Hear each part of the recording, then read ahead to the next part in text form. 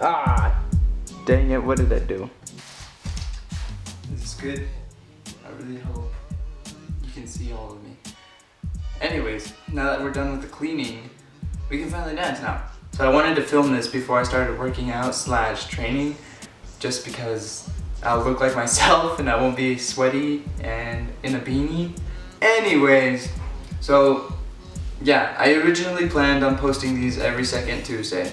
And those original freestyles that I always do that like basically started the channel, um, those will, I'll try to post every Thursday. But yeah, this is just another segment that I want to give you guys, hoping I can get some like feedback just to like keep you more, um, crap, what's the word?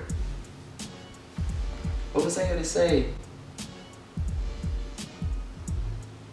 Oh, yeah, so I just want to post these to like interact more with you guys.